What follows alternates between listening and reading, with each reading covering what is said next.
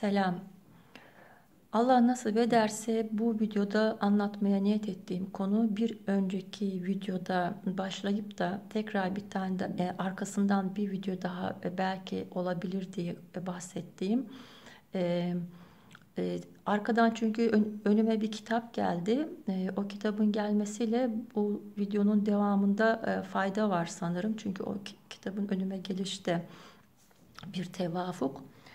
Şimdi e, konu yine atomdan başlıyoruz. Hmm, atom e, merkezde proton, nötron, etrafında elektron ve arada bir boşluk var deniyor. O öyle deniyor ama e, o şimdiki ilimin e, bilim adamlarının e, şimdiki tespitlerinde böyle o zaman içinde değişebilir.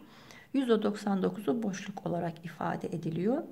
E, ve proton ve nötronun içinde olan kuarkların da %98'in enerji olduğu belirtiliyor. Yani proton, nötron, e, merkezde etrafında elektron var. Bu boşluk etrafındaki elektron alanı %99 boşluk.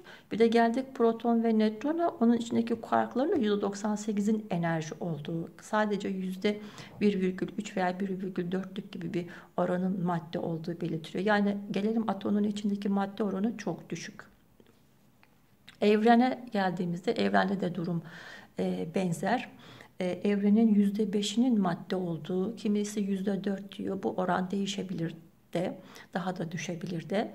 Ve %25'de e, karanlık madde olduğu belirtiliyor. Ne olduğu henüz bilinmeyen ve geri kalan büyük bir çoğunluğu %70 bu oranla değişebilir. Belki daha çok da olabilir. E, şu anda %70 diye ifade ediyorlar. Kara enerji yani kara olmasının sebebi ne olduğunu bilemedikleri için bulmaya çalışıyorlar. Yani evrenin de çok önemli bir kısmı boşluk. Şimdi gelelim insana. Ee, insan bir beden ee, ve nefs, beden ve bedenden başka bir de nefs, vehmi varlık alanımız, hayali, rüya, maya aleminden olan bir alanımız var. Ve bir de özümüz var. Ve bu öz e, çok geniş bir alanı kaplıyor. Yine bir boşluk gibi ifade edilen bir şey çıkıyor ortaya ama boşluk değil. Şu şekilde ben onu bir çizdim göstereyim. Şimdi atom etrafında elektron ve arada boşluk denen ama boşluk olmayan bir alan. Evren e, madde etrafa yayılmış. Ben bu evrendekini yüzde olarak gösterdim. Tabii o madde etrafı galaksiler olarak yayılmış olarak duruyor. Ee, evrenin merkezinde ne var bilinmiyor. Ondan sonra karanlık madde ve karanlık enerji çok büyük bir alanda. İnsan merkezde beden, vehmi varlık alanı etrafını sarmış. 1, 2, 3, 4 onu birazdan açıklayacağım nasipse. Ve o insanın alanı o kadar geniş, öz alanı, özün alanı çok geniş kainatı kaplayacak kadar. İşte anlatmaya çalıştığım e, insan yani biz kendimiz e, bu beden değiliz. Bu beden toprak oluyor ölünce. Zaten yoktu. Anadan babadan topraktan geldi. Toprağa da gidiyor. Atomlara parçalanıyor, yok oluyor. Bu gelişmiş beynin Allah'ın yarattığı bu e, insan mahlukat olarak Allah'ın yarattığı Adem'in gelişmiş beyninin oluşturduğu e, bir vehmi varlık alanı var. O gelişmiş beyin bir nefs alanı oluşturuyor. Doğduğumuzda biz öz olarak bedenle doğuyoruz. Daha sonra bize bir sürü yüklemeler, yüklemeler, öğretme, öğretilenler, bizim kendi kattığımız anlamlar, manalandırmalar derken bir alan oluşturuyoruz. Yapay bir alan. Allah'ın yarattığı insanın mahlukat olan insanın gelişmiş zekasından, gelişmişliğinden dolayı yarattığı bir ayrı bir alan, yapay bir alan oluşuyor ve biz o alanı da kendimiz zannediyoruz. O nefs, vehmi varlık alanını kendimiz zannediyoruz. İşte bütün mesele, bütün dinler o alandan çık. O alandan çık. Ölmeden önce öl. O nefisin seni kontrol etmesinden çık. O bütün kainatı kaplayan o kocaman şu altta insanda her tarafı kaplayan insan ol o insan ol diye anlatılan hep o. Şimdi bunu e, dilimin döndüğünce e, Fulya Can'daki açılım kadarıyla ifade etmeye çalışacağım. Allah nasip ederse hiçbir şey bildiğimi iddia etmiyorum. En iyisini Allah bilir. Alemlerimizin pek çok açıklamaları var zaten. Fulya Can'daki açık açılımı kendimi rahatlatmak için birilerine bir fayda olabilir belki diye anlatıyorum. Durum bundan ibaret. Anlatan anlattıran da her şey Allah'ın izniyle hayırlısı olsun. Şimdi bunu bu şekilde ifade ettikten sonra e, metafizik dersinde hocamız ve pek çok kitapta da yazıyor zaten bu. E, şöyle bir şey anlatmıştı insanın katmanlarını ifade ederken fizik bedenimiz var. E, işte bu topraktan olan fizik bedenin etrafında bir de eterik beden var. E, insan o öldüğünde yani fizik öde, ölü, ölümü gerçekleştiğinde bu eterik beden birkaç gün daha e, yaşıyor ve sonra bu eterik beden de parçalanıyor. Yani eterik beden fizik bedenle çok yakın temasta. Toprak beden içinde kabul ediliyor o yüzden de diye ifade etmiştim. Bu toprak alanı. Onun üstünde e, su, astral beden, astral bedenimiz var ayrıca e, ve bu astral seyahatlerle bu bedenle e, yolculuk yapılıyor diye bahsetmişti. Onun üstünde alt mental ve üst mental bedenlerimiz var. Onun astral alana yakın olana alt mental, ruhsal alana yakın olana e, üst mental deniyor. Bu hava elementi olarak temsil, teslim ediliyor, te, temsil ediliyor ve astral seyahatlerde ilk e, astral bedenle e, seyahatler yapılırken o bilinç geliştikten sonra o bilinç tamamlandıktan sonra mental bilinçler aşamasına geçiliyor. O daha üst bilinç aşaması olarak ifade etmişti ve onun üstünde de ruhsal e, bedenimiz var diye. Bu e, metafizik, spiritüel, ezoterik ne kadar e, sistem varsa bu sistemde ifade edilen benzer şeyler bu. E, tasavvuf sistemi de zaten bundan çok farklı değil. Onda da e, en altta e, cismani alem, madde beden, e, fizik alem ve buna cismani ruh diyorlar. Ondan sonra melekut alemi, nur, ruhani ruh veya nurani nur deniyor. Onun üstünde ceberut alemi, Mahmud makamı, ruh azam, sultani ruh deniyor. Onun üstünde lahut alemi, nur envar, kutsi ruh deniyor. Yani bir önceki videoda öz katman katman demiştim. Bunları ruh ifadesiyle birisi hmm, tasavvuf e, sisteminde e, ruh ruhun katmanları olarak ifade etmiş. Diğeri de e, astral beden, mental beden, ruhsal beden olarak ifade etmiş sonuçta ayrımlar aynı. Metafizik sistemde toprak, su, hava, ateş demiş. Toprak olan fizik ve eterik beden, onun üstünde su olarak ifade eden astral beden, onun üstünde alt mental ve üst mental olarak hava, onun üstünde ateş olarak ruhsal beden denmiş. Ve tasavvuf sisteminde de cismani alem, fizik beden, cismani ruh denmiş. Melekut alemi, ruhani ruh. Ondan sonra ceberut alemi, sultani ruh e, lahut alemi kutsi ruh denmiş. İbnül Arabi Hazreti Hamse'nin e, açıklamasında daha yine sistem aynı. Onu da yukarıdan yazmışım o şekilde şey yapayım. En üstte gaybı mutlak diyor. Gaybı mutlak insan buraya ulaşamaz. Allah'ın zatını ancak Allah bilir. Ulaşılamayan bir alan olarak onu ifade etmiş. Gaybul gayb diyor e, ikiye ayrılıyor. Gaybı, gaybı mutlak, gaybi izafi. Gaybı mutlak, gaybul gayb ga, alanı Allah'ın zatını ancak Allah bilir insan ulaşamayacağını belirttiği alan. Onun altında e, Hani de şöyle de ifade etmiş gaybul gayb al, alemi la tayun amayı mutlak vücudu mutlak. Bunların hepsi e, mutlak gayb alanının ifade şekilleri. E, onun altında Hazreti Ukul, Hazreti Ervah, alemi ceberut, tayyuni evvel, aklı evvel, hakikati Muhammedi, ruhu izafi, alemi ahadiyet ifadeleri geçiyor. E, burası mücerreh ruhlar ve akıl alemi. Gaybı mutlağın bir altında olan gaybi izafinin ilk basamağı ondan bir alta daha inince Hazreti misal alemi vahidiyet, tayuni sani, tecelli sani, sidretil münteha, alemi melekut. Onun da bir altını ilinde inince şehadeti mutlak, alemi mülk, alemi his, alemi nasut, alemi felekiyat, cisim alemi. Yani yukarıdan aşağıya bunu inmiş olduk. Şimdi aşağıdan yukarı çıkarsak yine aynı şey. Cisim alemi, onun üstünde melekut alemi ve isimlerini saydım. Onun üstünde ceberut alemi, onun üstünde de e, gayb mutlak alanı. E, bazıları 6, bazıları 7, bazıları 5, bazıları 4 ifade ediyor. Bunun en altına da Hazreti Camiye alemi insan. İnsan bunların hepsini kapsayabiliyor. Buhari'nin hadisi yere göğe sığmadım mümin kulumun kalbine sığdım. Yine Buhari'nin hadisi Allah Adem'i kendi suretinde yarattı. Şimdi bu e, Hazreti Hamse'nin açıklamalarından alt alemde olan her şeyin aslı üst alemde mevcuttur. Ama üst alemde olan her şey alt aleme yansımaz. Orada kalır bazıları. Yani bu e, özümüz katman katman ilerlemekte.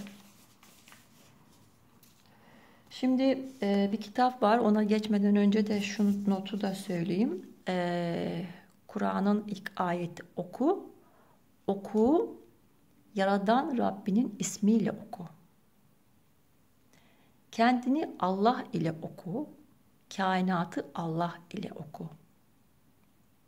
Okumaya biz önce kendimizden, ilk önce bir kendimizi tanımaya, kendimizi bilmeye çalışıyoruz.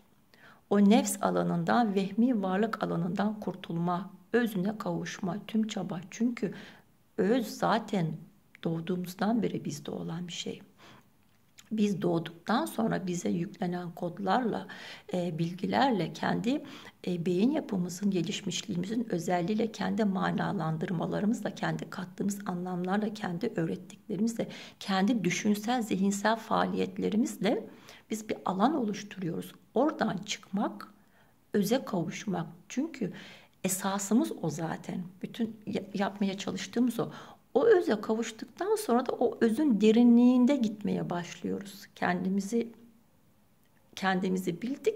Sonra da kainatı okuma aşaması geliyor. O derin işte o gaybi izafinin içindeki derinleşme aşaması başlıyor.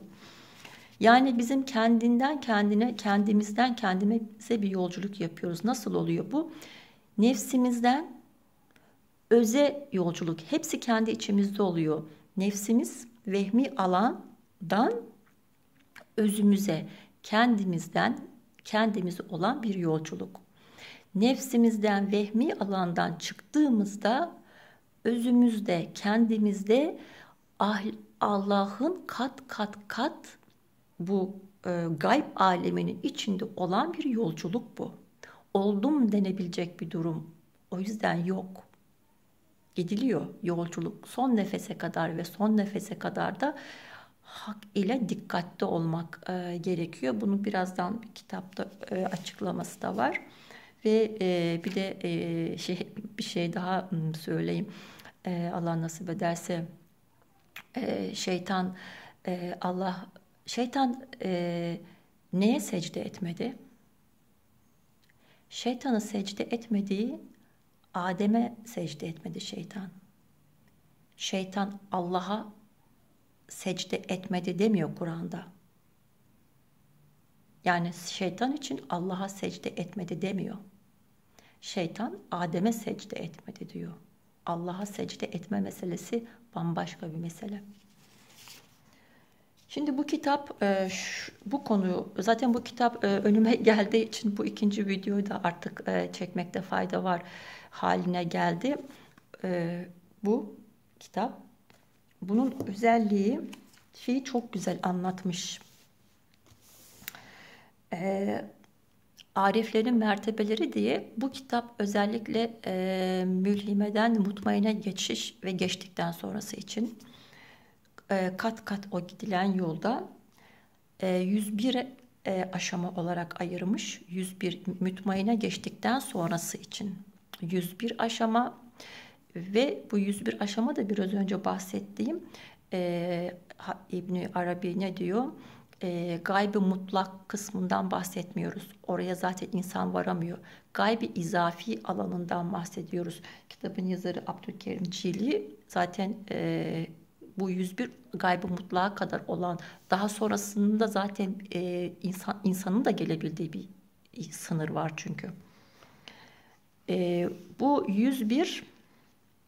101'in her bir aşamasında e, gelinen bir de her bir aşamanın afeti var. Diyor ki bu makam böyledir diyor. Bu makamın da bir afeti vardır diyor. Yani her gelinen yerde e, takılma riski olan e, bir husus var. Yani bir yere gelindiğinde orada takılabiliyor insan. Orada diyor ki buna dikkat edin burada takılınabilir. Takılınırsa böyle takılınır diyor. Allah'ın lütfu, keremi Allah'ın bunlar hep Allah'ın izniyle ve Allah'ın takdiriyle. E, orası aşılırsa bir sonraki makama gelindiğinde e, hale gelindiğinde orada da ayrı bir takılma hali olabilir diyor. Şimdi bunlardan birkaç örnek olarak sadece kısa olarak geçmek istiyorum.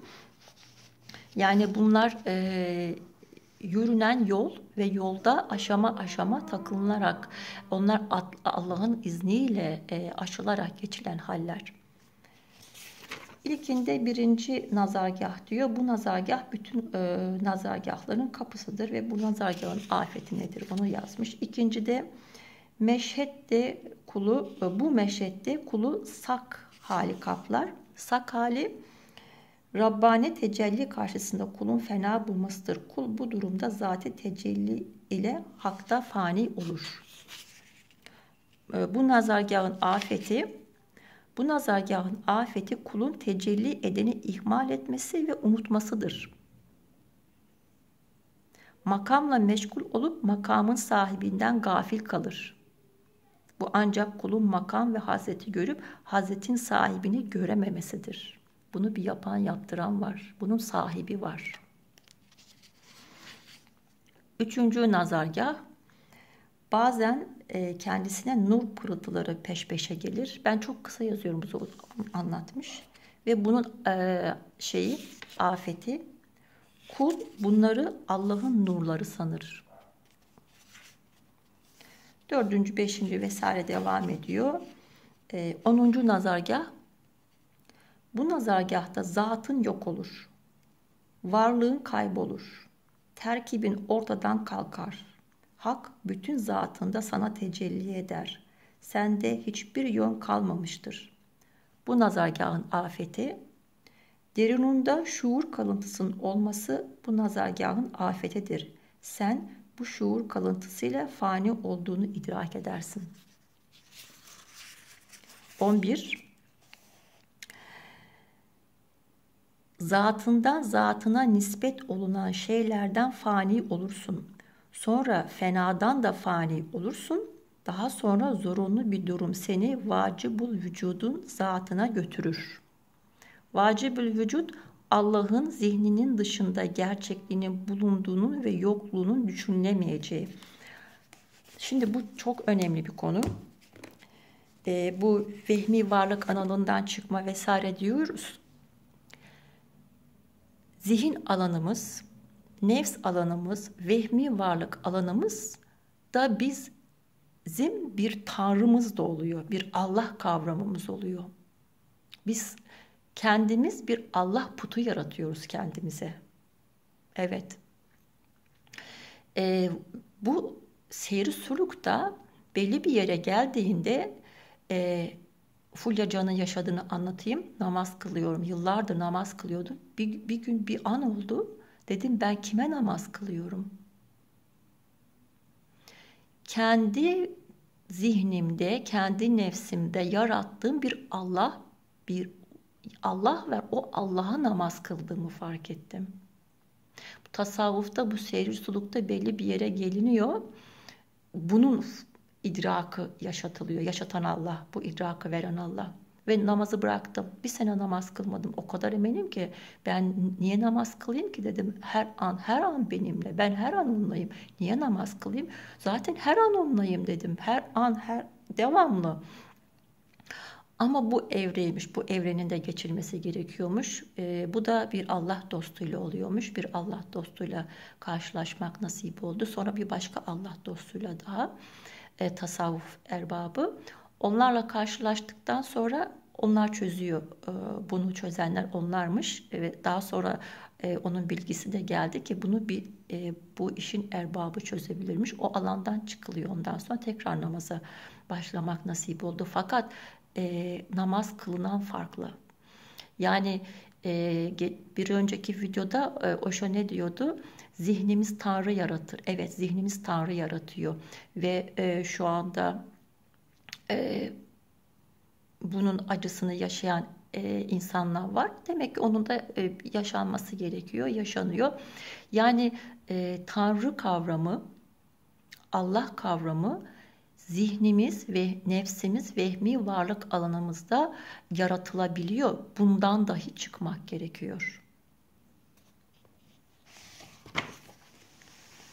Evet, ondan sonra geçelim 14. nazargahta.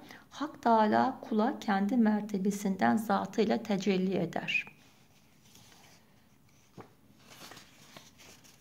Ondan sonra ara ara böyle şey yapıyorum kendime göre. E, 20. nazargah Hak Teala kulu çeşitli edepler ile edeplendirir. Edeplenmek de Allah'ın yaptığı bir şey. Edebi veren Allah. Her şey Allah'tan. Hz. Muhammed sallallahu aleyhi ve sellem ne diyor? Ben güzel ahlakı tamamlamak üzere geldim. Güzel ahlakı veren Allah. Ondan sonra bunların her birinin her bir halin e, şeyi nazargahın e, şeyleri e, afetleri de yazarak geçiyor. 12. nazargah ben böyle aradan geçiyorum. Allah sana bir tecelli ile tecelli eder ki bu tecellide ilahi ilimlerden senin veya başkasının üzerinde bitişik olanı ayrıştırır ve içlerin karıştığı yeri öğretir. Öğreten Allah. İlmi veren Allah. İlim onun zaten. Ee, bunun da afetini yazıyor. Sonra e, kaç e, 34. nazargah. Bu nazargahta eşyanın hakikatlerini gerçekte bulundukları hal üzere bilin, bilirsin ve devam ediyor. Bunun afetini e, yazmış. E, 101 insanın e, şeyi için daha önce dediğim gibi bu e, gaybi izafi içindeki insanın e, şeyi. Yani bütün mesele vehmi varlık alanından, nefs alanından, zihin alanından, kendimizi zan ettiğimiz kimliklerden, benliklerden, bilinç altından ondan çıkmak, tüm kainatı kaplayan, katman katman içinde seyri suluğun son nefese kadar Allah'ın izniyle devam ettiği o öze ulaşmak. Yani e, işte bu vehmi varlık alanından çıkmak için de e, nasıl çıkılıyor? Allah ile çıkılıyor, hak ile çıkılıyor. Bunun e, yolları iyi düşüneceğiz, güzel düşüneceğiz. Geçen de bir e, şey geldi YouTube'da, işte soru geldi, işte e, haklı olacağız, iyi düşüneceğiz, güzel düşüneceğiz de işte bu kadar dünyada kötü olay varken işte insanlara öldürülüyor, tecavüz yapılıyor, şöyle bir hırsızlık oluyor. Nasıl olacak? Orada da öyle kayıtsız kalacağız mı gibisine. Şimdi düşünce e, bu düşünce var olduğu sürece işte bu an an tercih dediğim e, şeylerden bir düşüncede onu düşünmek zorunda değiliz. Bizler onu düşündüğümüz sürece o enerjiyi varlıkta tutuyoruz. O tercihi yapmak Allah tercihi yapma hakkını bize vermiş. Hak ile misin, nefs ile misin? O düşünce nefsten. Özde öyle bir şey yok ki. Biz onu düşünmeyi tercih ettiğimizde düşünceyi varlıkta tutuyoruz. Düşünceyi varlıkta tuttuğumuz sürece zaten nefs alanındayız ve dünyasal küresel sistemde de o düşünceyi varlıkta tutmuş oluyoruz. Biz ne hissederiz? Düşünceler geliyor, geçiyor. Duygular geliyor, geçiyor. olaylar geliyor, geçiyor. Biz o gelip geçende takılı kalmayı mı tercih ediyoruz? Hak ile olmayı mı tercih ediyoruz? An an yaşadığımız bu. Düşüncede o düşüncede de olmayı mı tercih ediyoruz? Yoksa biz güzeli, nurani olanı, hakkı mı tercih ediyoruz? Duyguda da düşüncede. Karşımıza gelen bir olayda biz hakla mıyız, nefs ile miyiz? Hazreti Muhammed, e, Hazreti Ali için anlatılan e, savaşıyordu ve birini öldürmek üzereydi. Yüzüne tükürdü ve öldürmedi. Daha önce öldürmüşseydim hak için öldürmüş olacaktım. Savaştaydım ve öldürmem gerekiyordu. Hak mücadelesiydi. Yoksa sen beni öldürecektin. Ama şu anda seni öldüremem çünkü tükürdün suratıma ve kızdım. O kızgınlıkla seni öldüremem. Nefsimden öldürmüş olacağım dedi. İşte mesele bu. Zaten o kişi de daha sonra e, tarafını değiştirdi. Mesele bu.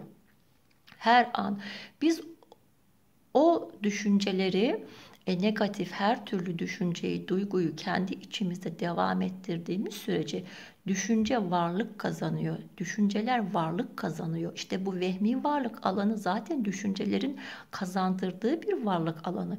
Bu vehmi varlık alanı yapay bir alan. Bizim düşünsel, duygusal faaliyetlerimiz de var olan bir alan. E, ülkeler e, parapsikolojik savaşlarda bu teknikleri kullanıyorlar. Düşüncelerle varlıklar yaratırıp düşünsel e, saldırılar yapıyorlar. Bunlar parapsikolojik e, sistemde uygulanıyor. O yüzden düşünce çok önemli. Neyi düşündüğümüzü seçmek durumundayız. Bu seçim hakkını Allah bize vermiş. Neyi hissettiğimizi seçmek durumundayız. Bu seçim hakkını Allah bize vermiş. Bunun için de akıl da vermiş. Böyle böyle e, yapılan hak ile seçimlerle nefsi nef, e, vehmi varlık alanından, nefs alanından çıkıldıkça zaten oradan çıktıkça özle temas daha çok oluyor. Özle temasın daha çok olması demek Allah'ın nurundan üflemesi daha çok oluyor. Çünkü her an bunlar tecelli halinde. Bunun şekli bu tasavvuf erbabı ve pek çok literatürde bu anlatılır zaten. E, samimiyetle, iyi niyetle bunu isteyen için e, bunun imkanlar önüne veriliyor. Yani önüne e, samimiyet ve iyi niyetle bu istendikten sonra e, Allah bu imkanları zaten her an bize sunmakta. E, burada sanırım e, anlatmaya niyetlendiğim konu bu kadardı. E, tekrar söylüyorum hiçbir şey bildiğimi iddia etmiyorum. Kendi içimde e, Fulya Can'daki açılımları dile getiriyorum. E, hem kendimi rahatlamak için hem de birilerine bir faydası olursa ne mutlu. E, niyet hayır, e, akibet hayır ola sevgiler en iyisini Allah bilir.